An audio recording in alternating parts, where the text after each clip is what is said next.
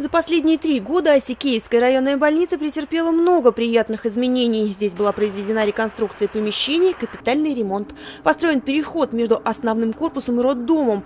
Об Осикеевском здравоохранении заботится не только государство, но и попечители. Одна из крупных нефтяных компаний помогла больнице доделать ремонт отделений. Всех стационарных подразделений и параклинических подразделений. Поэтому сегодня мы можем с гордостью сказать, что Наши помещения отремонтированы, служат не только пациентам, но и они э, дают хороший стимул сотрудникам для того, чтобы приходить и уверенно работать. Гумер Харазов работает здесь 35 лет. Он приехал в Исикеевскую районную больницу через год после ее открытия. Все преображения проходили, как говорится, у него на глазах.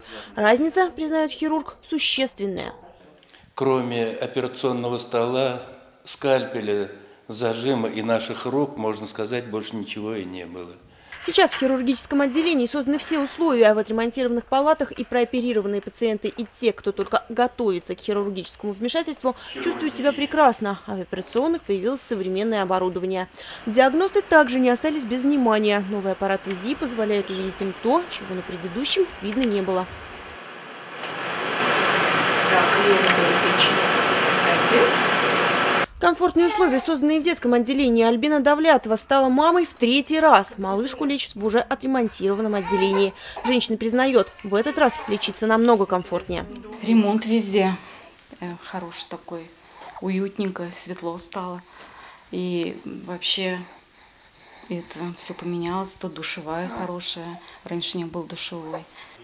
В хорошем состоянии в Исикеевском районе поддерживают не только центральную районную больницу, но и фельдшерско-акушерские пункты, а их в районе 34. Одним словом, про отдаленные от райцентра села Васикеева не забывают.